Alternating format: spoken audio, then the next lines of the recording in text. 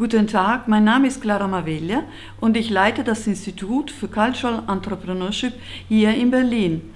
Mein Gast heute ist Professor Dr. Dr. Hohmann, der erste Professor für Wirtschaftsethik überhaupt in Deutschland. Und äh, ich freue mich auf das Gespräch. Willkommen, Herr Professor Hohmann. Guten Tag, Herr Professor Hohmann. Schön, dass Sie hier sind. Möchten Sie sich selber vorstellen? Ja, zunächst mal guten Tag. Und wenn ich mich vorstelle, mache ich das gerne so.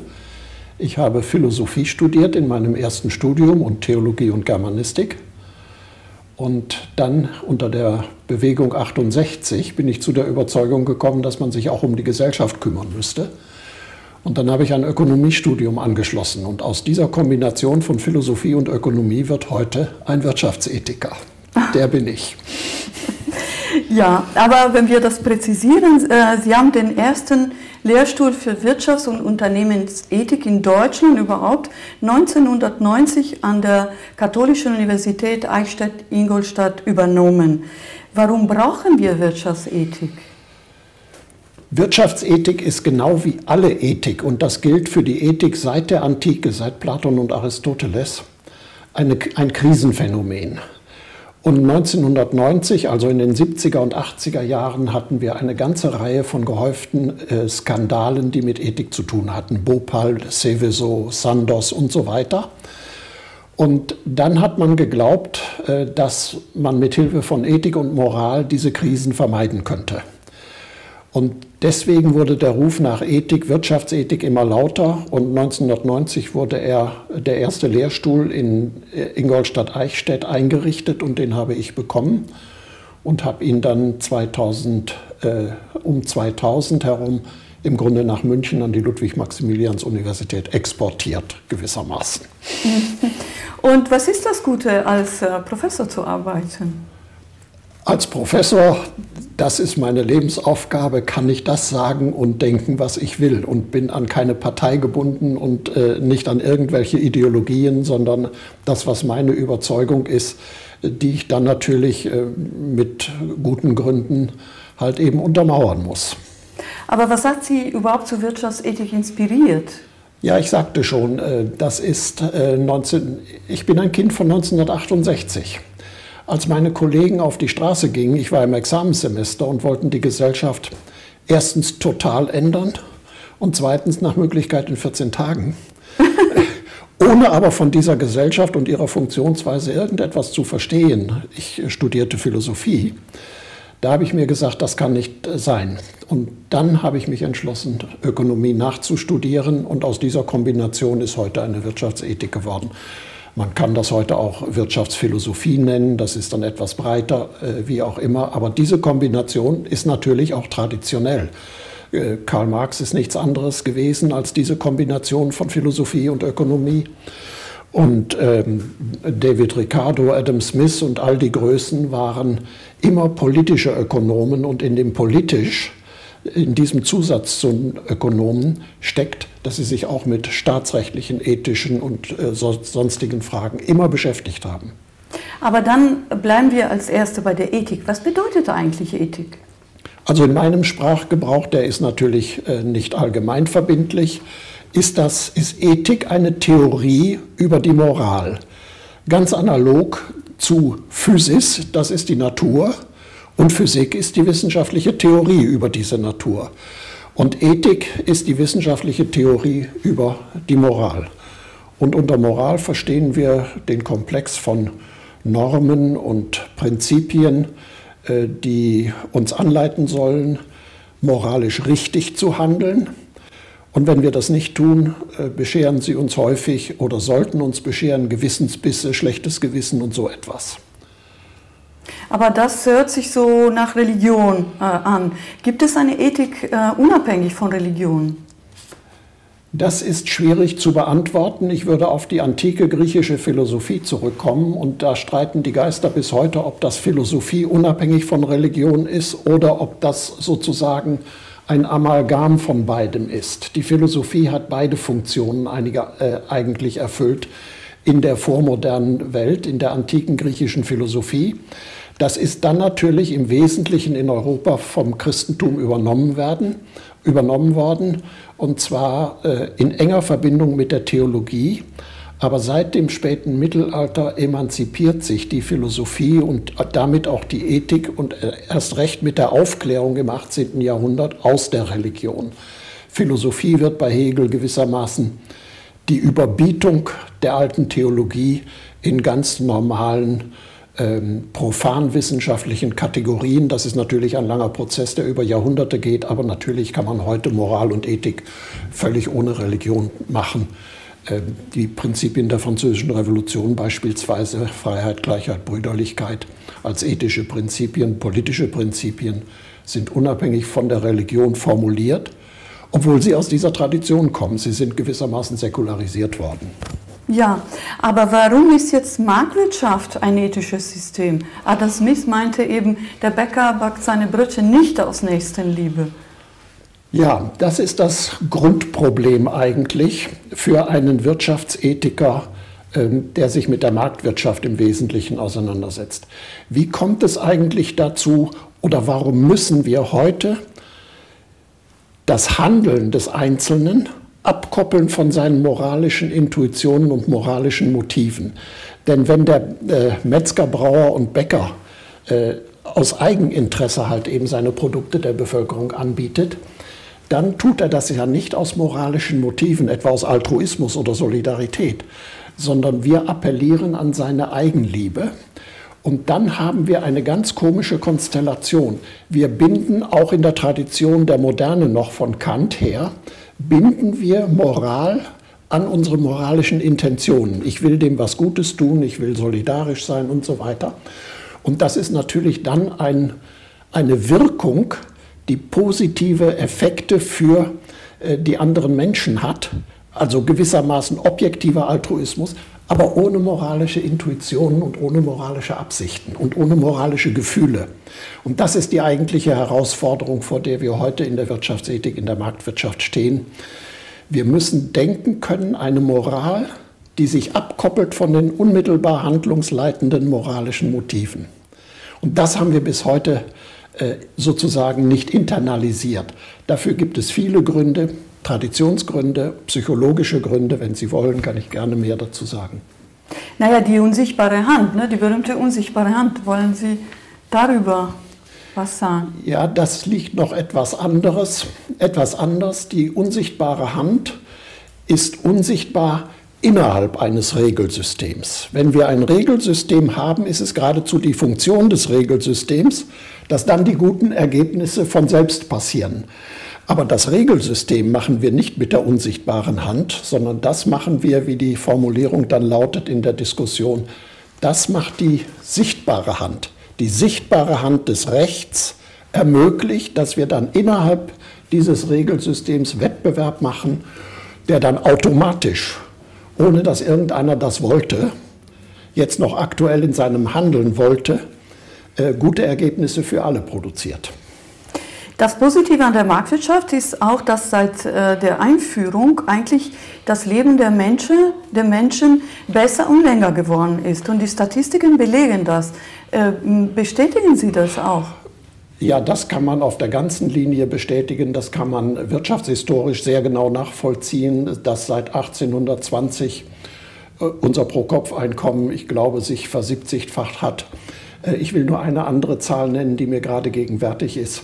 Wir haben in den letzten 25 Jahren, also seit 1990, eine Milliarde Menschen aus der absoluten Armut befreit. Und zwar durch Kapitalismus oder Marktwirtschaft. Wissenschaftlich ist das dasselbe, Kapitalismus und Marktwirtschaft.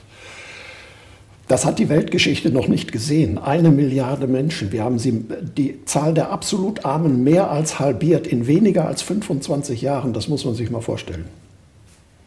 Ja, aber wie funktioniert eigentlich Wettbewerb? Der Wettbewerb funktioniert ganz vereinfacht so, und Sie können immer an den Sport denken, dass der eine vorlegt und versucht, besser zu sein als der andere. Besser zu sein mit Produkten, mit Wissen, mit Dienstleistungen und was immer Sie wollen. Und äh, das setzt die anderen natürlich unter Druck. Ähm, Wettbewerb ist kein Zuckerschlecken, äh, weil auch derjenige, also wir müssen, ich unterscheide mal typologisch zwei Diejenigen, die schwach sind im Wettbewerb, die zurückbleiben, müssen sich anstrengen, damit sie nicht aus dem Wettbewerb herausfallen, damit sie nicht bankrott gehen, heißt es in der Wirtschaft. Jetzt könnte man denken, die Starken könnten doch eigentlich sich beruhigt zurücklehnen. Und genau das ist nicht der Fall. Und zwar deswegen nicht, weil der heute starke, der heutige Marktführer nicht weiß, ob er nicht morgen oder übermorgen von seinen Konkurrenten überholt wird durch neue Produkte, durch neue Dienstleistungen, durch Automatisierung oder sonst etwas. Das heißt, auch der Starke, der Marktführer muss sich heute anstrengen, immer besser zu werden. Das gilt übrigens auch für wissenschaftliche Theorien und für Wissenschaftler. Aber warum sind dann Unternehmen wichtig? Unternehmen gibt es eigentlich erst seit rund 200, 250 Jahren. Und ein Unternehmen definieren wir heute als eine Produktionsstätte, in der Menschen zusammenarbeiten, ohne dass sie eine Lebensgemeinschaft haben. Das, ist, das letzte ist der Unterschied zu den Klöstern des Mittelalters. Das waren Lebensgemeinschaften, die dann auch einen Wirtschaftsbetrieb hatten. Unternehmen verfügen über zwei Fähigkeiten, über die die anderen großen Spieler in unserer modernen Gesellschaft nicht verfügen. Nämlich die NGOs nicht und die Politik nicht. Die Unternehmen verfügen erstens über Kapital. Die NGOs haben kein nennenswertes Kapital. Und wenn Sie sich das anschauen, die äh, politischen Staaten sind alle im Grunde praktisch alle bankrott, außer der Schweiz vielleicht. Das ist das eine. Sie verfügen über Kapital. Und zweitens, sie verfügen über das notwendige Know-how, komplexe Wertschöpfungsprozesse effizient zu organisieren. Wir nehmen das hier in Berlin auf wie wenig die Politik in der Lage ist, effizient einen solchen komplexen Prozess wie einen Flughafenbau zu organisieren, das brauche ich nicht zu erläutern. Unternehmen ja. können das. Das haben sie gelernt. Das sind die beiden großen Fähigkeiten und deswegen, ich treibe es gerne auf die Spitze und zitiere analog die Bibel, es ist heute der Unternehmer, der die Nackten bekleidet und die Hungernden speist. äh, ohne Unternehmen hätten wir diesen Wohlstand nicht. Und deswegen brauchen wir auch weiterhin Unternehmen und dann sollte man sich natürlich sehr genau überlegen, ob man eine bei allen Unvollkommenheiten und bei allen Schäbigkeiten und äh, Schweinereien, die Unternehmen heute machen, und das sind ja unsere Erfahrungen der letzten zwei, drei Jahre, bis zu eklatantem Betrug in Weltfirmen. Äh, ich brauche keine Namen zu nennen. Äh, bei all diesen Defiziten können wir auf Unternehmen nicht verzichten. Wie wollen wir heute sieben, in Bälde neun Milliarden Menschen ohne Unternehmen ähm, ein gelingendes Leben, die Chancen zu einem gelingenden Leben eröffnen? Völlig unvorstellbar. Aber nun werden gerade Marktwirtschaft, Kapitalismus und Manager und so weiter von allen Seiten kritisiert. Warum denn? Es gibt verschiedene Gründe. Ich fange bei dem Äußeren an. Das sind die Defizite. Äh, die Liste ist endlos lang, ist völlig klar. Das ist ein abendfüllendes Programm. Nur muss man deswegen die Unternehmen nicht äh, generell ablehnen. Man muss sie verbessern und man muss versuchen, die Fehler auszumerzen. Man äh, lehnt ja auch die Krankenhäuser und die Universitäten nicht ab, weil da Fehler gemacht werden. Auf die Idee ist noch niemand gekommen, nur bei den Unternehmen. Obwohl wir sagen müssen, dass von den demokratischen Parteien in der Bundesrepublik keine einzige Partei die Marktwirtschaft und die Unternehmen abschaffen will. Äh, das ist das eine. Das zweite ist, und das geht tief in die philosophische äh, Diskussion hinein. Unternehmen sind wegen des Wettbewerbs dadurch definiert, dass sie Gewinne machen müssen. Nicht wollen, sie müssen. Wenn sie keine Gewinne machen, verschwinden sie vom Markt. Sie müssen Gewinne machen. Und Gewinne zu machen, Kapital zu bilden, ist seit zweieinhalbtausend Jahren moralisch diskreditiert. Und wenn ich das kurz erklären soll, sage ich es so, in der vormodernen Welt hatten wir kein Wachstum. Wir konnten im Fachterminus diese Gesellschaft deuten im Paradigma, im Muster einer, eines Nullsummenspiels, wo einer reich werden kann, nur wenn es anderen weggenommen hat. Der Kapitalismus ist aber dadurch definiert, dass er eine Wachstumsgesellschaft ist. Das heißt, wenn die Reichen reicher werden, müssen sie es nicht den Armen wegnehmen, sondern der Reichtum der Reichen basiert auf der besseren Nutzung der Ressourcen, insbesondere der Ressource Wissen. Wir haben Wissen verwertet in neuen Produkten, in neuen medizinischen Techniken, die unser Leben durchschnittlich verlängern, verdoppeln im Grunde in den letzten 150 Jahren. Das sind die Erfolge des Kapitalismus. Und wir versuchen immer noch, oder wir sind immer in der Gefahr, sag ich mal so, wenn die Reichen reich werden, und das ist ja ein mediales Thema äh, ersten Ranges, wenn die Reichen reich werden, geht das auf Kosten der Armen. Und das ist nicht richtig.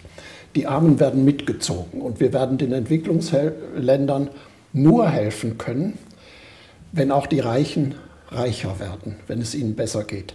Denn wer wird in Entwicklungsländern, in Drittweltländern investieren, wenn er nicht eine vernünftige Rendite erwarten kann?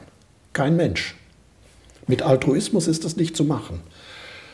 Aber das Gewinninteresse dieser Unternehmen, wenn sie investieren und wenn sie Gewinne machen müssen, ist eigentlich nicht, wie das der öffentliche Diskurs meint, ist das nicht zurückzuführen auf die Gier, die können den Hals nicht vollkriegen oder so etwas. Das ist das, die alte Denkweise aus der vormodernen Welt. Pleonexia hieß das griechisch. Immer mehr haben wollen. Das zweifellos gibt es solche Leute, die immer mehr haben wollen. Wenn wir den Experimenten, die neuerdings eine so große Rolle in der Wirtschaftswissenschaft spielen, Glauben schenken dürfen, dann sind diese gierigen Leute eigentlich so um die knapp 20 Prozent. Und die anderen 80 sind gar nicht gierig. Warum streben die denn auch nach Gewinnen? Und das liegt einfach daran, dass sie im Wettbewerb Gewinne machen müssen, wenn sie überleben wollen. Äh, bei Thomas Hobbes steht an dieser Stelle äh, Folgendes. Das ist vielleicht sehr interessant, daran kann man es sich merken. Er sagt, es gibt für den Kampf aller gegen alle, das wäre der reine Wettbewerb, der Kampf aller gegen alle mit allen Mitteln, gibt es drei Gründe. Glory, Diffidenz äh, und Konkurrenz. Also in dieser Reihenfolge. Competition, Diffidence, Glory. Glory ist Vorrangstreben, Competition ist Wettbewerb, ist klar, aber was ist Diffidence? Und Thomas Hobbes hat diesen Text, den Leviathan, 17 Jahre später ins Lateinische selber übersetzt. Und dann ersetzt er Diffidenz, was heut, im heutigen Englisch heißt, so etwas wie mangelndes Selbstvertrauen, hat er übersetzt mit Defensio. Und Defensio ist Verteidigung. Selbstverteidigung gegen die Konkurrenten, die mich aus dem Wettbewerb ausschalten. Das heißt, das Streben nach Gewinn bei den Unternehmen, aber auch bei den Handlungssubjekten ist im Grunde beim, in den weitaus größten Fällen nicht auf Gier zurückzuführen, sondern auf Selbstverteidigung unter Konkurrenzbedingungen. Ich muss mich ständig anstrengen, damit ich nicht aus dem Wettbewerb herausfalle, das heißt, damit ich nicht bankrott gehe. Aber das ist eben äh, eine der Kritiken äh, an Kapitalismus, ja. ist, dass eben äh, da die Profite in, in Fokus gestellt werden und nicht den Menschen. Aber dann heißt es, die Leute, die diese Kritiken ja. äußern, heißt es, sie, sie begreifen nicht, wie Marktwirtschaft funktioniert. Also wir müssen unterscheiden zwischen der unmittelbar handlungsleitenden Motivation, wobei Motivation nochmal ein Sonderproblem ist. Äh, denn ein Unternehmen hat keine Motivation. Äh, da, da, müssen eigentlich schon alle Ampeln auf Rot springen und alle Alarmglocken schrillen. Äh, Motivationen haben nur natürliche Personen. Sie und ich. Aber nicht eine Organisation wie ein Unternehmen mit zigtausend Beschäftigten. Wer hat da dieses Motiv? Die haben eigeninteressierte Motive. Aber nicht das Unternehmen hat ein Motiv. Kurzum, äh, wir müssen unterscheiden zwischen dem Interesse des Unternehmens auf der, und zweitens der Systemebene. Und die Marktwirtschaft, der Kapitalismus bringt die guten Ergebnisse, worauf seine moralische Qualität gründet, die guten Ergebnisse für alle Menschen tendenziell. Die gründet auf, dem, auf der Systemleistung und nicht auf der einzelnen Wettbewerbshandlung. In der einzelnen Wettbewerbshandlung gibt es immer Verlierer. Das ist jetzt das Ergebnis beispielsweise der Verwerfungen in der politischen Landschaft mit dem Brexit, mit Donald Trump und so weiter. Das sind nicht nur, aber das sind die Verlierer der Globalisierung. Die Verlierer dieser äh, forcierten weiteren Industrialisierung und Globalisierung, die sich jetzt auf die Hinterbeine stellen und sich verteidigen, Defensio, sich verteidigen, ihren Lebensstandard verteidigen. Deswegen würde ich heute vorschlagen, also einmal diese Unterscheidung unmittelbar handlungsleitendes Interesse und Systemergebnisse. Und die, äh, die Systemergebnisse rechtfertigen eigentlich nur den Kapitalismus, nicht die einzelne Handlung. Es gibt Verlierer. Ja, eine, eine ganz andere äh, Sache jetzt, aber ich wollte jetzt wirklich äh, nochmal da, darauf. Ähm, ist es so, dass Frauen und Männer mit äh, Wirtschaft und Wirtschaftsethik anders umgehen? Ich halte das durchaus für möglich, soweit ich die Berichte und statistischen Ergebnisse kenne. Äh, sind Frauen eher empathisch. Ähm, ich glaube nur, deswegen würde ich immer empfehlen, dass man einen Vorstand oder eine Arbeitsgruppe oder so äh, gemischt zusammensetzt, damit alle Gesichtspunkte zum Zuge kommen.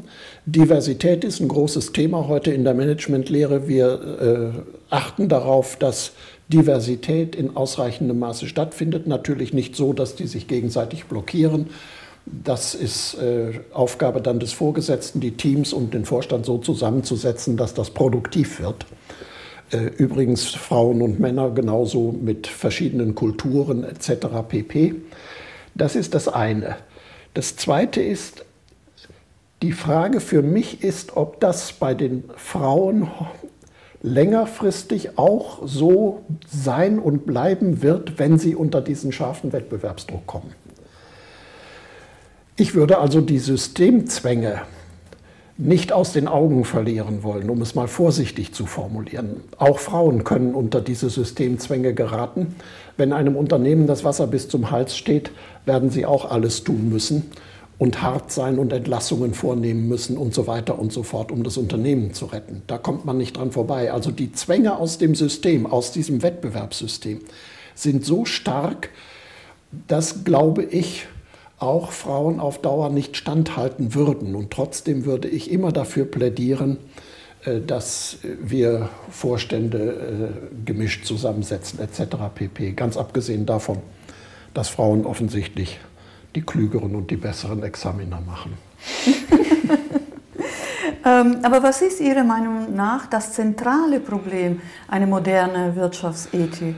Ja, das Problem ist halt eben, wenn wir im Wettbewerb stehen, dann werde ich, und ich nenne diesen, dieses Eigeninteresse vom Adam Smith nicht Motiv, ganz bewusst nicht, weil das auf Unternehmen gar nicht anwendbar ist, sondern ich nenne das seit einigen Jahren einen Systemimperativ, der mich zwingt, der auch die sanften Heinriche, um es mal so zu sagen, zwingt, sich dem Wettbewerb zu stellen.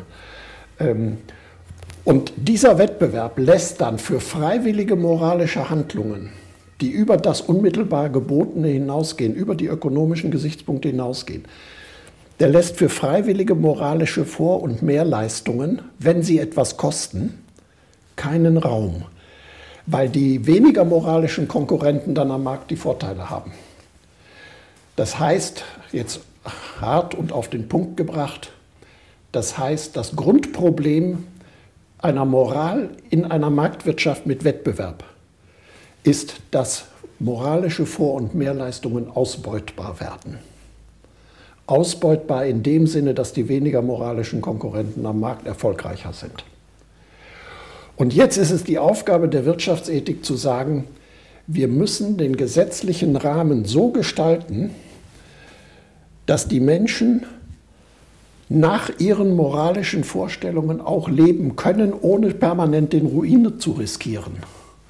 Ich kann von keinem Unternehmen verlangen, dass es permanent moralisch handelt, altruistisch handelt, seine Produkte verschenkt und dabei bankrott geht. Damit ist niemandem geholfen. Und übrigens hat das keine Ethik bisher in der abendländischen Tradition äh, so verlangt. Es gilt der alte römische Satz, ich sage ihn zunächst lateinisch, ultra posse nemo obligatur, das heißt übersetzt, über sein Können hinaus kann niemand verpflichtet werden. Und Unternehmen können nicht, das können wir von ihnen nicht erwarten, dass sie sich dem Ruin aussetzen. Bei Thomas Hobbes lautet die Formulierung im Kampf aller gegen alle in seinem Naturzustand, äh, wenn da jemand ist, der in Ruhe sein beschauliches Leben genießen will, dann kann er das gar nicht, weil die anderen ihn nicht in Ruhe lassen. Er ist auf die anderen angewiesen. Sie müssen ihn lassen. Und dafür haben wir unseren Rechtsstaat. Dafür haben das, wir das ganze System der Rahmenordnung und der gesetzlichen Regelungen, dass die mich in Ruhe lassen, mein Leben zu führen in Übereinstimmung mit meinen moralischen Grundsätzen. Und das ist die große Schwierigkeit, dass wir nicht begriffen haben, dass wir in der Marktwirtschaft mit moralischem Handeln, das teuer ist, das mir, das mir Kosten bereitet, dass wir damit ausbeutbar werden. Und dafür müssen wir eine Antwort haben. Und dann kann ich nicht unbedingt Moral verlangen, sondern nur bedingte Moral. Bedingt, wenn die Rahmenordnung mich schützt vor systematischer, permanenter Ausbeutung durch meine weniger moralischen Konkurrenten, die da Korruptionszahlungen leisten, die Umwelt verschmutzen, äh, die Marktmanipulationen machen, Betrügereien und so weiter, wenn ich da ständig das Nachsehen habe. Davor genau muss mich die Marktwirtschaft schützen durch den Gesetzesrahmen. Und wichtig ist, dass dieser Regulierungsrahmen mit harten Sanktionen versehen wird. Wir haben also dann eine zweistufige Moral. Wir haben auf der einen Seite den Wettbewerb, der findet in den Spielzügen statt. Ich nehme jetzt die Spielmetapher, in den Spielzügen. Aber diese Spielzüge stehen unter einer Rahmenordnung. Also die unsichtbare Hand steht unter einer sichtbaren Hand des Rechts, die bestimmte Dinge verbietet. Wir haben also eine zweistufige Moral, die wir betrachten müssen. Unmittelbar handlungsleitend ist das Eigeninteresse.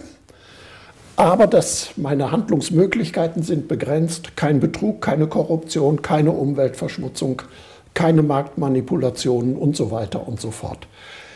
Im Grunde ist das Modell ganz einfach. Wir kennen es alle aus dem Sport, äh, im Fußballspiel beispielsweise. Der Wettbewerb findet auf dem Spielfeld im Spiel statt, aber unter dem Regelsystem, über dessen Einhaltung der Schiedsrichter wacht.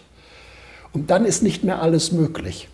Und herauskommt, dass die Spieler auf dem Spielfeld in allem Eifer des Gefechts und manchmal vergessen sie sich, aber sie halten sich zurück schon aus Eigeninteresse, weil ihnen der Schiedsrichter sonst die gelbe und beim zweiten Mal die rote Karte zeigt.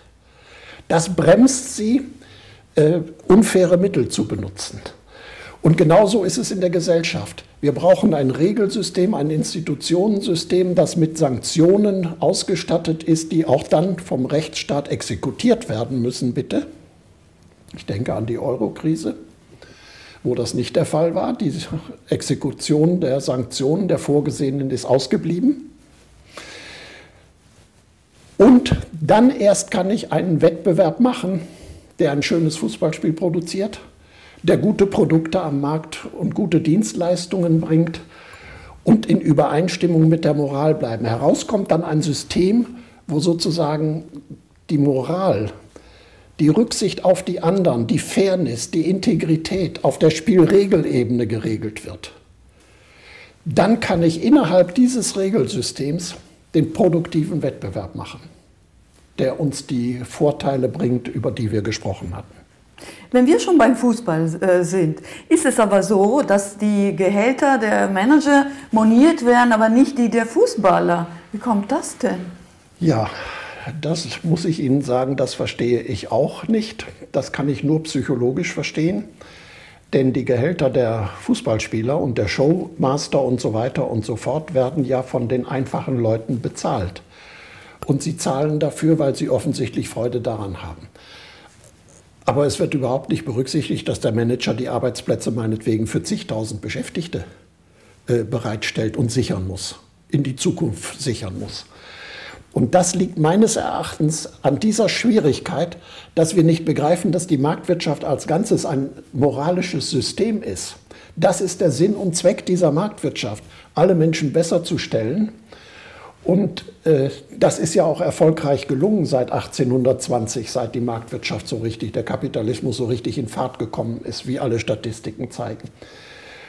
Wir haben eine emotionale Einstellung gegen die, Markt, gegen die Marktwirtschaft und insbesondere gegen Wettbewerb. Das ist der eine Punkt. Der zweite Punkt ist das Gewinnstreben. Der, das Gewinnstreben, das ja nur eine Folge des Wettbewerbs ist. Das ist sozusagen das eine.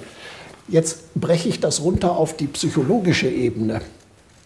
Wie sind wir denn in unserer persönlichen Sozialisation äh, vorangekommen? Die grundlegenden moralischen Einstellungen und Intuitionen, Empathie, Sympathie, Solidarität lernen wir im Alter von so. Und jetzt sagt die neuere Gehirnforschung, in einem ersten Schub und weitaus am meisten, im größten Teil, bis zum Alter von drei Jahren. Und dann kommt noch einmal ein permanentes äh, Weiterwachsen, aber noch einmal ein Schub in der Pubertät. Und aus der Pubertät, sagen wir mal, kommen wir mit 17, 18 raus. Aber mit 17, 18 haben wir uns nur in einer sozialen Umwelt bewegt, die von Face-to-Face-Kommunikation gekennzeichnet ist, von persönlichen Beziehungen. Das sind kleine, überschaubare Gruppen.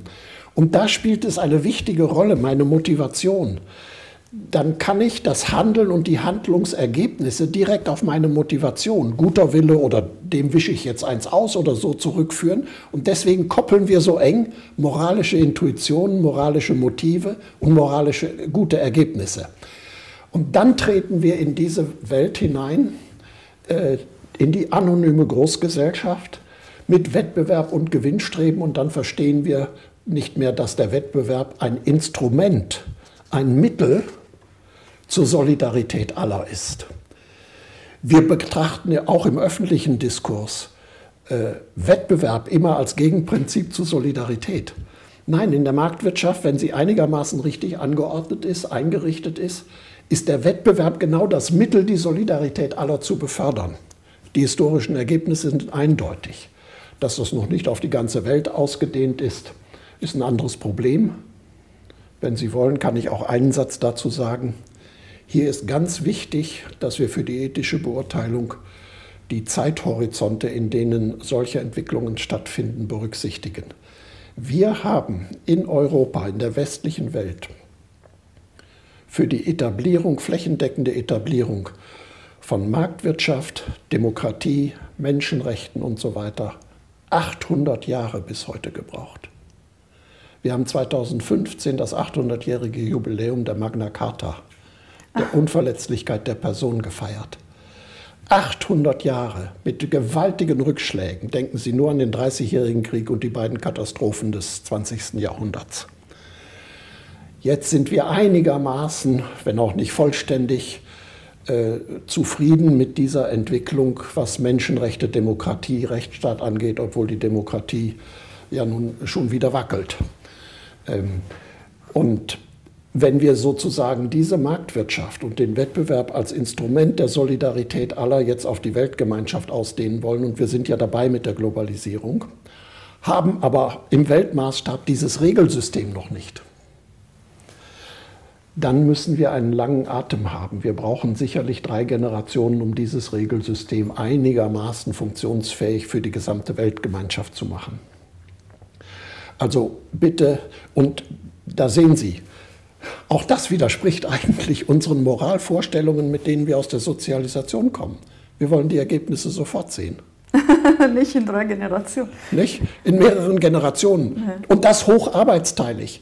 Das ist nicht nur so, dass das nicht über eine moralische Motivation läuft. Es äh, gibt uns auch keine moralische Befriedigung, auf die wir doch angewiesen sind und die wir gerne, dieses warme Glühen, dass wir was Gutes getan haben. Wie wollen Sie das in einem arbeitsteiligen Prozess machen, äh, der drei Generationen dauert, äh, wo Sie nur ein ganz kleines Rädchen sind?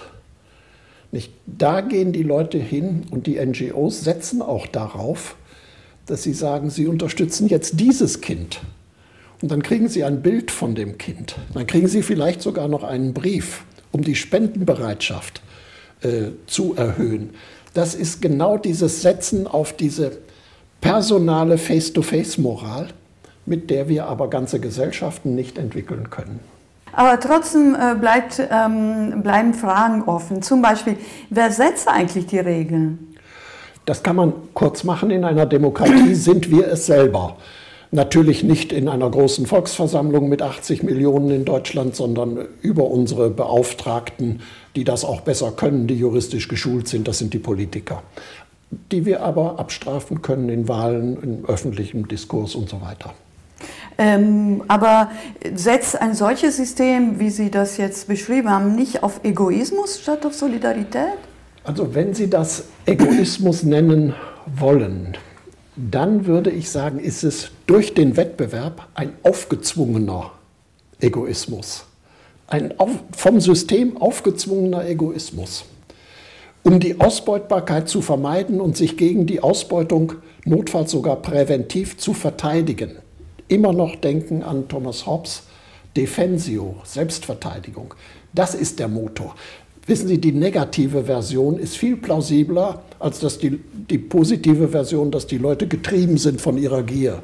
Das ist Unfug. Die, natürlich gibt es einige, aber im Großen und Ganzen ist das völliger Unfug, dass die getrieben sind von der Gier. Aber sie wollen sich nicht ausbeuten lassen. Dann stellen sie sich auf die Hinterbeine und strengen sich an und achten auf ihren eigenen Vorteil, dass sie nicht zu kurz kommen. Aber welche Rolle spielt in Ihrem System äh, eine Ordnungsethik überhaupt noch die Moral des Einzelnen? Da hätte ich auch noch ein paar Fragen ja, dazu. Das, das, sagen wir es mal so. Da steht heute genau die Diskussion. Das müssen wir im Einzelnen ausarbeiten. Ich habe sozusagen entwickelt in meiner Karriere, dass die Ordnungsmoral, die Ordnungsethik grundlegend ist, weil die die Bedingungen erstellt, unter denen der Einzelne handeln kann. Ich sage immer gerne, wir brauchen an zwei Stellen, besonders an zwei Stellen, die individuelle Moral. Wir brauchen sie einmal, weil wir moralische Intuitionen, Empathie und Solidarität lernen müssen. Und das lernen wir, wie ich sagte, im Alter bis zu drei Jahren und dann noch einmal in der Pubertät, nochmal ein Schub. Das ist unverzichtbar damit wir Ideen, moralische Intuitionen, moralische Leitideen haben, nach denen wir diese Gesetze, diese Rahmenordnung, die Verfassung und die einzelnen rechtlichen Regelungen gestalten können, damit sie zum Wohl aller äh, sich auswirken. Also am Anfang für die Regelsetzung und gewissermaßen am Ende. Sie können die komplexen Entscheidungen, die heute zu treffen sind in der Wirtschaft, die können Sie nicht alle regulieren, in Regeln fassen. Die Wirklichkeit ist immer viel differenzierter. Wenn aber die Grundlage gelegt ist, dass systematisch die Ausbeutbarkeit des einzelnen Unternehmens verhindert wird im Großen und Ganzen, dann können Sie die restlichen Entscheidungen, das, was dann noch zu entscheiden ist, mit individueller Moral, ohne dass sie Gefahr laufen, wieder systematisch ausgebeutet zu werden, treffen. Also am Ende bei der konkreten Ausgestaltung, wie ich beispielsweise Entlassungen vornehme, wie ich mit meinen Kunden umgehe, mit meinen Zulieferern umgehe. Äh, da spielt dann Moral noch wieder eine Rolle und das wird dann zum Teil auch honoriert. Von der Bevölkerung einmal, aber vor allen Dingen auch von gut ausgebildeten äh, Ökonomen, die bei äh, nicht bei diesen harten Firmen anheuern, sondern bei denen, wo es dann gewissermaßen menschlich zugeht. Und dann kann das plötzlich auch sogar produktiv werden. Moral wird dann ein Produktionsfaktor. Nicht? Äh, Integrität wird ein Produktionsfaktor. Äh, das brauchen Sie den Leuten bei VW nicht mehr zu erzählen. das haben wir jetzt für die nächste. Nicht, wie, ja. wie viele Milliarden da am Ende herauskommen, ja. äh, wegen mangelnder Integrität und Betrügereien in großem Stil. Äh, das wird richtig teuer. Also Moral müssten wir zu einem Produktionsfaktor entwickeln. Und jetzt gehe ich nochmal zurück zu den philosophischen Grundlagen. Das ist eigentlich in der Tradition nicht denkbar. Da ist die Moral, äh, moralisches Handeln, ich sage mal richtiges Handeln zum Wohl, zu meinem, aber immer auch zum Wohl der anderen, gebunden an meine moralische Motivation. Ganz verstärkt von Kant äh, in der herkömmlichen Interpretation. Ähm, das können Sie dann so nicht mehr denken. Nicht? Sie müssen eben diese Moral ohne moralische, direkte moralische Motivation denken. Wer das kapiert hat beispielsweise ist Benedikt XVI. in seiner Enzyklika Caritas in Veritate, also Liebe, Nächstenliebe in der Wahrheit, wörtlich übersetzt. Da schreibt er, dass diese Rahmenordnung, diese soziale Ordnung, jetzt zitiere ich, der institutionelle, wir können auch sagen politische Weg der Nächstenliebe ist. Das heißt, die Ordnung ist Nächstenliebe. Und einer meiner Schüler, Ingo Pies, sagt dann sogar, diese Ordnung ermöglicht Fernstenliebe, weil die Wohltaten von Produkten und Innovationen und so weiter völlig unbekannten Menschen weltweit zugutekommen, die sich dafür interessieren und dafür Zahlungsbereitschaft entwickeln. Das ist Fernstenliebe, praktizierte Fernstenliebe. Sie können auch sagen, praktizierte Solidarität. Aber eben ohne moralische Motivation. Das ist der springende Punkt. Und das fällt uns so schwer, weil wir auch nicht nur aus der Tradition, sondern weil wir auch so erzogen werden und mit Recht so erzogen werden. In kleinen Gruppen in der Familie gilt diese Zuneigung, dieser Altruismus gefühlsmäßig und so weiter. Wir können gar nicht ohne. Aber in der modernen Großgesellschaft müssen wir andere Kriterien anlegen und die funktioniert anders. Da kommt es auf die Ergebnisse für die Menschen an. Wenn wir beim Einzelnen sind, dann ähm, würden viele jetzt fragen, aber wie ist es zum Beispiel mit diesem großen Steuerraub der Geschichte hier in Deutschland? Das sind auch Menschen, wo bleibt da die Motivation, die Solidarität oder eine moralische Erziehung? Wie kann, kann sowas passieren? 20 Jahre schon. Es geht ja. um 31 Milliarden äh, ja. äh, Euro. Die Frage ist, wie Sie das zurechnen. Das ist ein Skandal. Wem geben Sie die Schuld? Die Unternehmen, die das gemacht haben, stehen im Wettbewerb. Der eine macht es und der andere nicht. Der eine verdient sich die goldene Nase und die anderen gehen bankrott. Oder die Leute, die nicht mitmachen, werden entlassen. Das ist das Problem. Also müssen sie alle mitmachen. Im Kampf aller gegen alle müssen sie sich verteidigen. Defensio. Meines Wissens ist Anfang der 2000er Jahre das Finanzministerium darauf aufmerksam gemacht worden, dass hier was schief läuft. Und reagiert hat es zehn Jahre oder 15 Jahre später. Wenn Sie irgendwem die Schuld geben wollen, dann dem politischen System, aber nicht dem ökonomischen System. Der Einzelne, der in diesem äh, Fall nicht mitmachen würde, würde im Wettbewerb zurückfallen. Wir haben uns mit dem Wettbewerb ein zweischneidiges Schwert eingekauft. Nicht? Es erschwert die Moral. Auf der anderen Seite ist es selbst ein moralisches Unternehmen, weil es immens gute Ergebnisse für breiteste Bevölkerungsschichten gebracht hat.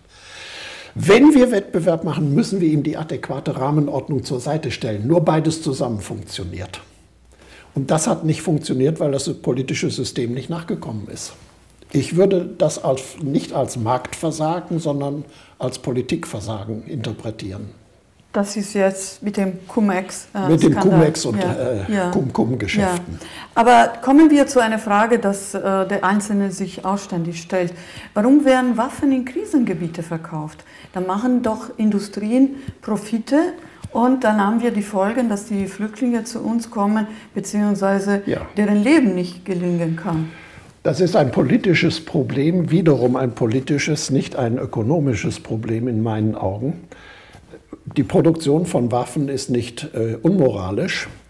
Äh, Leute meinen, äh, insbesondere Moralisten meinen, sie könnten, wenn sie die Waffen nicht mehr produzieren, äh, dann könnten, äh, könnte der Friede sozusagen Einzug, erhalt, Einzug erhalten weltweit. Das ist nicht richtig, solange ein anderer da ist, der die Waffen dann noch liefert. Äh, ich erinnere Sie daran, dass Václav Havel, nach, der, nach dem Zusammenbruch des äh, Sozialismus äh, angegangen worden ist, weil die damalige Tschechoslowakei Handfeuerwaffen, also Pistolen insbesondere, wo sie besonders gut waren, verkauft. Und dann hat Václav Havel, der Moralist auf dem Präsidentensessel, sagen müssen, würde ich fast formulieren. Was wollen Sie machen, wenn der Staat bankrott ist? Im Wettbewerb. Nicht das Profite machen ist das Problem. Das Profite machen aus Geschäften, die wir nicht wollen. Und dass wir sie nicht wollen, müssen wir sozusagen politisch regeln. Wir müssen die Krisengebiete beseitigen und so weiter. Und die Folgen, die Kosten von Kriegen mit Flüchtlingen und allem drum und dran und die menschlichen Kosten, die sind, äh, sind allen bekannt. Aber es gelingt uns noch nicht, hier eine kollektiv ein Regelsystem zu erstellen, das den Frieden garantiert. Das ist uns über lange Jahre gelungen. Bis zum Zusammenbruch des Sozialismus und vielleicht noch 10, 15 Jahre darüber hinaus. Und was ist heute? Ich hätte mir vor 15 Jahren das nicht vorstellen können, was heute passiert. Mit der Ukraine, mit den Flüchtlingen, äh, mit äh, dem IS und was immer sie wollen. Ja, ja. Aber äh, Demokratie, Europa zum Beispiel, das sind alle große Ideen, aber sie basieren natürlich auf Wachstum, Prosperität. Die Ressourcen des Planeten sind aber limitiert. Wie sehen Sie das? Ja, Wachstum äh, definieren die Ökonomen ja nicht nur als materielles Wachstum, immer mehr Autos und so. Das ist natürlich Quatsch, das äh, geht nicht, sondern es gibt auch qualitatives Wachstum, das sind dann die Begriffe. Es gibt Wachstum in der äh, Versorgung beispielsweise alter Menschen und so weiter. Der Wachstumsbegriff, auch der Vorteilsbegriff in der modernen Ökonomie ist viel weiter, als dass es nur um Geld und um materielle Dinge ging. Es geht auch um die höhere Lebenserwartung und so weiter. Es geht um äh, ein humanes Zusammenleben, kulturelle Erfahrungen und so weiter. Das alles fassen wir unter Vorteil im weitesten Sinn, auch unter Wachstum. Ähm, aber das Problem ist natürlich, dass ob eine Demokratie langfristig zu halten ist, ohne dass es Wachstum und ohne dass es Prosperität gibt. Und neuere Untersuchungen selbst zur antiken äh, äh, Gesellschaftsgeschichte, Wirtschaftsgeschichte, etwa in Griechenland, zeigen, dass die Demokratie auch in Griechenland, dem Ursprungsland, dem Geburtsland der Demokratie, nur aufgrund von ökonomischer Prosperität funktionierte. Ich drehe es gerne um. Die großen Ideen müssen unterlegt werden durch eine tragfähige Ökonomie. Wenn das nicht passiert, wenn die ökonomische Grundlage dieser großen Idee Europa fehlkonstruiert ist, dann bricht der Euro zusammen, dann kriegen wir die Griechenland-Krise. Und in der Griechenland-Krise ist das erste Mal nach dem Zweiten Weltkrieg in Europa Hass, ausgesprochener Hass aufgekommen und salonfähig geworden, weil die ökonomische Grundlage falsch konstruiert war. Sie können keine Moral machen, die nicht im Großen und Ganzen ökonomisch tragfähig unterlegt ist.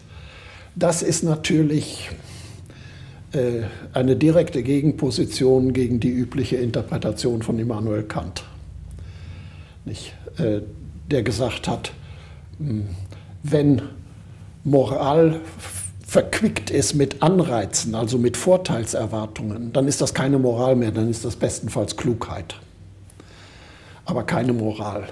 So wird er interpretiert und das kann man nicht verlangen. Wir haben also gerade in der Griechenland-Krise erlebt, wie Hass entsteht, ähm, wie die großen Ideen verwirtschaftet werden, weil die ökonomischen Grundlagen fehlkonstruiert sind. Ja, und was kann man da jetzt äh, noch tun in diese, also in de, eine ethische Perspektive? also ich bin ich bin akademischer Lehrer gewesen und äh, ich habe meine Aufgabe immer darin gesehen, ähm, die Nachwuchsführungskräfte unserer Gesellschaft mit Theoriekonzepten auszustatten, die es ihnen ermöglichen, erstens die Problemstruktur zu erkennen und dann auch zu sehen, wie wir mit dieser Problemstruktur rational und zum Vorteil aller umgehen können. Und sie können Kollektivprobleme nicht mit individueller Moral lösen, sondern nur kollektiv, das heißt politisch. Äh, man muss die Probleme, die Problemstruktur erkennen und dann darauf antworten. Ähm, und das fordert uns eigentlich ab, dass wir auch in Sachen Moral eigentlich jetzt noch lernen müssen. Wir müssen uns verabschieden für die große Gesellschaft, für die globalen Probleme von dieser individuellen moralischen Motivation. Wenn Sie gestatten, erzähle ich gerne meine Lieblingsgeschichte, äh, die, das, die die ganze Problematik noch einmal wie in einem Brennspiegel zusammenfasst. Das ist die Geschichte vom heiligen Martin mit meiner eigenen Fortspinnerei. Äh, der heilige Martin lebte im vierten Jahrhundert vor Christus, viertes, fünftes Jahrhundert. Und bekanntlich äh, äh, trifft er in kalter Winternacht auf einen Bettler, der friert nimmt kurzerhand sein Schwert, teilt seinen Mantel und gibt die eine Hälfte dem Bettler. Und das wird uns heute noch als Vorbild, ähnlich wie der barmherzige Samariter, von Solidarität und Mitmenschlichkeit vorgestellt. Ich spinne jetzt fort. Vermutlich haben beide dann gefroren, weil der halbe Mantel nicht ausreichte. Und jetzt sage ich es theoretisch, weil Martin den Mangel nur gleich verteilt hat. Er hat aber keinerlei Anstalten gemacht, den Mangel zu beseitigen. Das ist Kapitalismus. Das ist Marktwirtschaft. Beseitigung des Mangels. Dafür hätte er eine Mantelfabrik bauen müssen, dem Bettler und anderen Bettlern Arbeit geben, damit die sich die Mäntel selber kaufen können. Und dabei hätte er selbst auch noch Gewinn gemacht. Und die Pointe dieser Geschichte, er wäre dann gewiss nicht heilig gesprochen worden. Da sehen Sie die ganze Problematik, äh, die auf unseren Schultern lastet aus unserer abendländisch-christlichen Tradition heraus. Teilen, Solidarität ist eine unmittelbar personalbezogene Größe. Da ist sie sicherlich auch sinnvoll. Aber Gesellschaften können wir so nicht aufbauen. Und Armut können wir so nicht beseitigen durch individuelle Moral. Sie wissen vielleicht, oder äh, dass, äh, wenn man Entwicklungsländer bereist, dass einem strikt untersagt wird, äh, Almosen zu geben, den bettelnden Kindern. Das beseitigt die Armut nicht, im Gegenteil, das stützt sie, äh, weil sie sich daran gewöhnen, dass sie durch ähm, Almosen von Touristen ähm, da ihre Lebenssituation kurzfristig bessern können. Aber nachhaltig ist das überhaupt nicht. Nicht die katholische Kirche, das müssen Sie überlegen, die, die ähm, das Institut der Heiligsprechung für besonders vorbildliche Menschen kennt hat noch nie einen Unternehmer heilig gesprochen. Schon gar keinen Manager oder gar einen Banker, oh Graus. Das ist nicht denkbar in unserer Kultur. Und trotzdem sind das vorbildliche Menschen, weil die unendlich viel für den Wohlstand der Menschen tun. Immer noch nicht genug. Wir sind mitten in diesem Prozess. Aber wir können die Armut bekämpfen nur durch Kapitalismus, durch institutionelle Regelungen und nicht durch Entwicklungshilfe. Die größten Fortschritte in der Armutsbekämpfung, das ist ein weiteres empirisches Datum, die größten Fortschritte in der Armutsbekämpfung haben die Länder gemacht, die keine oder nur ganz wenig Entwicklungshilfe erhalten haben. China und Indien. Durch Kapitalismus wird Armut beseitigt aber nicht durch Almosen und Entwicklungshilfe. Ähm, Sie haben uns viele interessante Dinge erzählt. Nun äh, eine Frage an unsere äh, Followers, Hörer oder Users. Was würden Sie angehende Philosophen, Philosophinnen oder Politiker und Politikerinnen empfehlen? Ich würde denen empfehlen, zunächst einmal die Problemstruktur genau zu erkennen. Die Problemstruktur, dass wir bei kollektivem Handeln zwei Dinge immer darauf angewiesen sind, dass die anderen mitmachen. Unter Bedingungen des Wettbewerbs kann der Einzelne nicht moralisch handeln, wenn das zu teuer für ihn wird. Dann fliegt er aus dem Markt. Diese Problemstruktur muss erkannt werden. Frau Merkel hat sich bei der Flüchtlingskrise darauf verlassen, dass ihre europäischen äh, Kollegen äh, sich bereit erklären, weil, es ein, weil sie das für ein europäisches Problem gehalten hat, dass sie ihren Anteil dazu fair beitragen. Und dann haben sie gesagt, nö, Herr Orban. Das ist Frau Merkels Problem, nicht meins. Der nimmt die Außenseiterposition in Anspruch und so können sie keine Kollektivregelung machen. Putin hat die, äh, ist in der Krim einfach einmarschiert, äh, sich darauf verlassen, hat sich darauf verlassen, dass niemand ihm äh, da ernsthaft Widerstand leistet. Er hat die Außenseiterposition eingenommen. Und so kann man das nicht regeln. Das ist die Problemstruktur, die man äh, erkennen muss. Und es, wir kennen dann in der Wissenschaft Lösungsmöglichkeiten für diese Problemstruktur, die überall dieselbe ist. Und das würde ich den Politikern empfehlen, dass sie, dass sie das durchschauen, diesen Mechanismus, diese Bedingungen, unter denen dann Moral, also eine Welt des Friedens, der Freiheit, der Würde des Einzelnen und der Solidarität existieren kann. Sie können keine Solidarität machen, wenn Deutschland die Schulden von Griechenland übernehmen muss wenn die Griechen sich darauf verlassen, dass immer andere zahlen für äh, ihre Misswirtschaft oder sonst etwas, für ihre Korruption. Ähm, sie haben überall dieses selbe Problem, dass bei kollektivem Handeln und wir müssen heute kollektiv handeln und das könnte sehr produktiv sein. Die Globalisierung ist immens produktiv. Dass bei kollektivem Handeln immer Einzelne versuchen, die Außenseiterposition einzunehmen. In der Fachsprache heißt das die Trittbrettfahrerposition. Die nehmen die Vorteile gerne in Anspruch, aber ihren eigenen Leistungsbeitrag äh, verweigern sie. Dass die Trittbrettfahrerposition das eigentliche Problem ist für alle Kooperationen. Neuerdings ist die ganze evolutionsgeschichtliche Forschung auf diesem Problem, Tomasello beispielsweise, eine Naturgeschichte der menschlichen Moral, wie entsteht Moral überhaupt, von 400.000 Jahren bis äh, vor 10.000 Jahren zeichnet er die Entwicklung nach. Selbstverständlich das Grundproblem, die Ausschaltung der Trittbrettfahrer. Ah. Sonst gibt es keine Kooperation. Wie machen wir das? Wir haben Lösungsmöglichkeiten. Das Regelsystem ist eines mit den Sanktionen, die ein unabhängiger Schiedsrichter dann verhängt. Dann kommt nämlich heraus, dass das Trittbrettfahren sich nicht mehr lohnt für den Einzelnen. Solange sich das lohnt, wird es immer Trittbrettfahrer geben. Kriegen wir die Kooperation nicht hin. Und diese Problemstruktur ist nicht bekannt. Die ist in der Philosophie schon gar nicht. Einige wenige sehen das, aber auch da besteht die Gefahr, ich will jetzt keine Namen nennen, dass sie die Trittbrettfahrerposition durch Moral überwinden wollen, durch Appelle an den Einzelnen, jetzt fahre mal nicht Trittbrett, sondern leiste deinen fairen Beitrag. Diese Appelle bewirken nichts, weil dieser eine Trittbrettfahrer befürchten muss, dass die anderen dann Trittbrett fahren. Und er kann sich dagegen nur verteidigen, indem er selber auch Trittbrett fährt. Spieltheoretisch ist das die Struktur des Gefangenen-Dilemmas. Das auszuführen würde hier jetzt zu weit führen, aber wer das nachlesen will, kann das daran sehen. Äh, diese Probleme können Sie nur durch Kollektivregelungen mit Sanktionen bewältigen. Und wenn die Sanktionen fehlen, beispielsweise Deutschland und Frankreich Anfang der 2000er Jahre die Stabilitätskriterien gerissen haben, ohne dass Sanktionen folgten, das war der Sündenfall der EU. Ach so, weil alle andere. Ja, dann, das war die Steilvorlage für die Griechen, jetzt auch mhm. mal einen kräftigen Schluck aus der Pulle zu nehmen. Mhm. Nicht? Ja.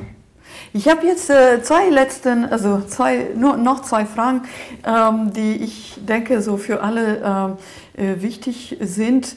Ähm, darf ich, äh, da, jetzt haben wir Sommer, darf ich jetzt äh, heutzutage noch äh, in die Türkei fahren, in, in, den Urlaub oder in Diktaturen oder äh, eben dort, wo ähm, ganz schlimme Bedingungen herrschen überhaupt? Was sagen Sie dazu? Ich würde das dem Einzelnen überlassen. Ich hätte hohen Respekt vor Leuten, die sagen, ich fahre da nicht mehr hin. Aber man muss schauen, was die Folgen sind, wenn wir da nicht mehr hinfahren, etwa in die Türkei. Die Urlauberzahlen gehen ja dramatisch zurück. Ähm, und das ist ambivalent. Man kann argumentieren, der eine kann argumentieren, ich fahre dahin, äh, um zu zeigen, dass äh, hier sich was ändern muss. Ich fahre noch einmal dahin, äh, ich erhebe Widerspruch und komme das nächste Jahr nicht mehr und kündige das an oder so etwas kann er sagen. Er kann aber auch sagen, ich fahre da weiterhin hin. Äh, das muss der Einzelne entscheiden, wie groß seine Wirkung ist. Jedenfalls, wenn ein Einzelner da nicht mehr hinfährt, passiert gar nichts. Sein Beitrag ist ganz gering. Aber wie kriegen Sie es hin, dass sozusagen kein Deutscher mehr in die Türkei fährt? Die äh, äh, Tourismuszahlen sind um 25 bis 30 Prozent eingebrochen. Wie kriegen Sie es hin, dass 60 Prozent nicht mehr hinfahren? Äh, und lernt Herr Erdogan wirklich etwas daraus, wenn 60 Prozent nicht mehr kommen und wenn die durch die Russen ersetzt werden? Also ist das möglicherweise eine falsche Maßnahme. Aber ich hätte hohe Achtung vor den Leuten, äh, die sagen, es widerstrebt mir persönlich, ich kann da nicht mehr hin. Und manche sagen das inzwischen von Amerika. Da kann ich nicht mehr hinfahren. Ich kann sie verstehen. Nur ob das das gesellschaftliche Problem verändert, da hätte ich meine großen Zweifel. Okay, jetzt die allerletzte Frage. Äh, wie kann ich mein erspartes, mühsam erspartes Geld am besten anlegen? Das weiß ich nicht. Ich bin kein Finanzfachmann. Ich würde meinen Finanzberater fragen. Aber ich weiß sehr genau, unter welchen Zwängen, jetzt nicht Motiven, sondern Zwängen diese Finanzberater stehen. Ich weiß, dass die Leute Freitagnachmittag von ihrem Vorgesetzten geholt werden, ist ihr Terminkalender für die nächste Woche voll, weil die Banken daran verdienen, dass Wertpapiere, Spareinlagen und so weiter permanent umgeschichtet werden. Sie verdienen an der Umschichtung. Und deswegen ist es für die lukrativ, ähm, permanent umzuschichten. Und denen wird explizit gesagt, sie haben, diese, sie haben ihre 4000 äh, Euro für die Bank in dieser Woche noch nicht verdient. Ich weiß das und deswegen misstraue ich solchen äh, Leuten. Die mögliche Antwort wäre eine institutionelle, indem man auf die äh, Regelung, Gebührenregelung All-in-Fee gesetzt beispielsweise, dass man für ein bestimmtes Portfolio, sagen wir äh, 500.000, die man da hat, im Jahr 0,5 Prozent oder 0,3 Prozent automatisch bezahlt aber für die einzelne Transaktion nicht mehr bezahlt, dann unterbleibt dieses Umschichten. Und dann hat zweitens die Bank hätte dann ein Interesse daran, dass äh, diese 500.000 zu vermehren, weil 0,5 Prozent von 500.000 ist weniger als 0,5 Prozent von 700.000. Dann würde die Bank an den Kurssteigerungen verdienen und nicht mehr auf dieses ständige Umschichten, äh, was wir beobachten, äh, ich werde ja selber mit meinem äh, Ersparten von meiner äh, Bankmanagerin permanent angerufen über die vergangenen Jahre. Äh, ich bin sehr skeptisch, weil ich um die Interessen, ich sage besser, die Zwänge, unter denen diese Mitarbeiterin steht, weil ich die genau kenne. Also Vorsicht bei all diesen Beratungen.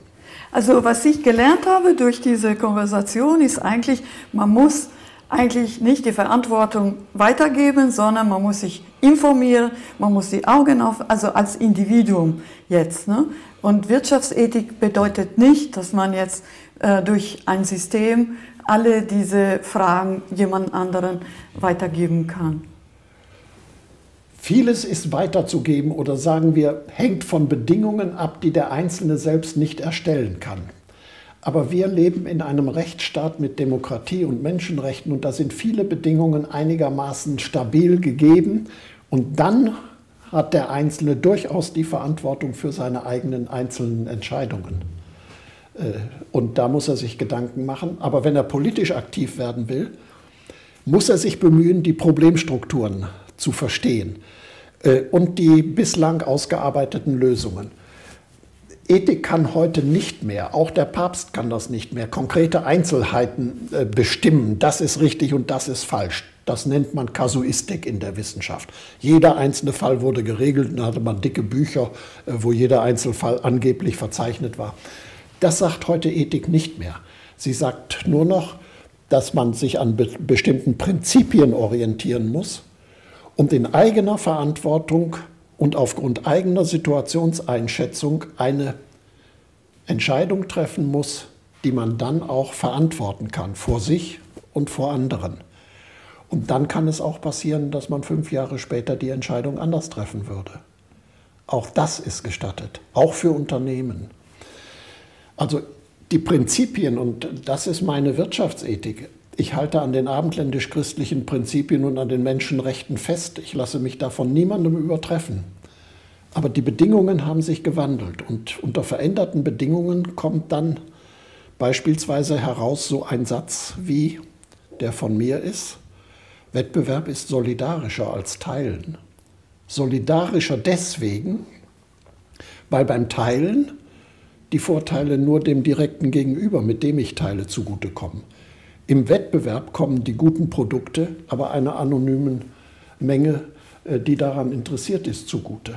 Wettbewerb ist solidarischer als Teilen. Äh, das haben wir noch nicht begriffen, weil wir die Problemstrukturen dieser modernen Welt noch nicht, äh, noch nicht internalisiert haben und die werden auch in der Schule nicht gelehrt. In den Geisteswissenschaften werden sie durch die Bank nicht gelehrt. Ähm, und da sehe ich eigentlich das größte Problem. Ich gehe nicht auf die Barrikaden für Problemlösungen, die ich nun vorschlage, ganz abgesehen davon, dass ich für vieles gar keine konkreten hätte. Aber auf die Barrikaden gehe ich für die Problemstrukturen und für die Erkenntnis dieser Problemstrukturen. Und da laufen wir im Grunde mit vormodernen Vorstellungen durch die moderne Welt. Und das kann nicht gut gehen. Das ist so ungefähr wie, wenn ich mich in Wien mit einem Stadtplan von Hamburg orientieren wollte. Das geht nicht gut. Also Fazit, äh, Marktwirtschaft und Demokratie sind die bestmöglichen Formen äh, heutzutage, die wir, äh, Lebensformen, die wir äh, haben, zur Verfügung ich würde, haben. Ich sage gerne die besten bisher bekannten okay. Lebensformen. Das heißt nicht, dass wir nicht das weiterentwickeln würden oder könnten. Da müssen wir auf die Zukunft warten, was äh, künftige Generationen machen. Aber die, das sind die besten bisher bekannten Lebensformen, die wir haben. Selbstverständlich mit vielen Fehlern behaftet und verbesserungswürdig, wie die katholische Kirche, semper reformanda, immer zu reformieren, permanent zu reformieren. Vielen Dank, äh, das ist wirklich sehr, sehr inspirierend für uns alle. Vielen Dank für Ihre Arbeit und für Ihre Zeit, Herr Professor Humann. Ich habe mich gefreut über dieses Gespräch, das haben Sie auch gemerkt. Dankeschön.